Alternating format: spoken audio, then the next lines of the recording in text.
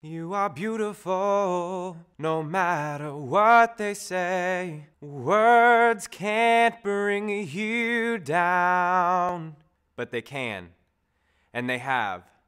See, I'm a little too short to shoot a ball from half court, and I look a little too different to ever believe it when you call me beautiful. So I wish I was a little bit taller, maybe wish I was a baller, but if there's one thing I definitely wish I was, I wish I was beautiful. My shoulders are lopsided. I've got acne on my skin and I hardly ever win. Unless, of course, it's chess, but even then I'm not the best. I've got hair and zits on my chest. I'm a dude, but it looks like I've got breasts. I'm not blind, buddy, so don't lie to me and tell me that I'm beautiful. See, we got these things in our rooms called a mirror. They were designed to help you see you clearer, but the father of lies plays tricks with our eyes, whispering in our ear all about how we're too big, too small, too short, too tall, how your hips go too wide and you've got too much fat on the side, all just to lie to you, to get you think that you're not beautiful. And if you think that you are, he thinks that's just fine, as long as he can convince you that's pride.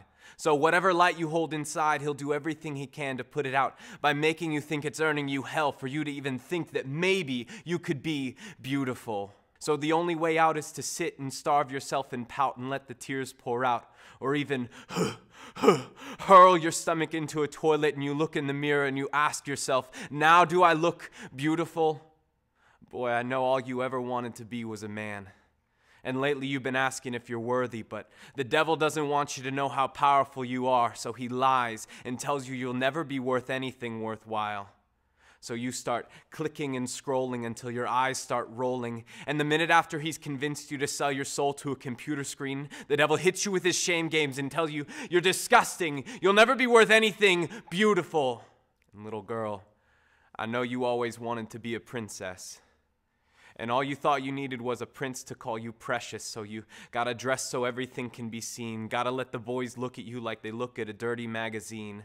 Let them go a little further than you want to go, and when they get bored and drop you, you still want to know Do you love me now? Do you think that I'm beautiful? Does anybody think I'm beautiful? I do. I do proclaims the voice that spoke the skies, and let me dry your eyes. I've heard your cries, I only wish that you had heard mine. Galaxies and shooting stars I sent spinning so that you would know the beating of my heart. I painted rainbows and roses so that you would know you are a work of art. I gave you the sunrise and the moonlight so that you would know how precious you are in my sight.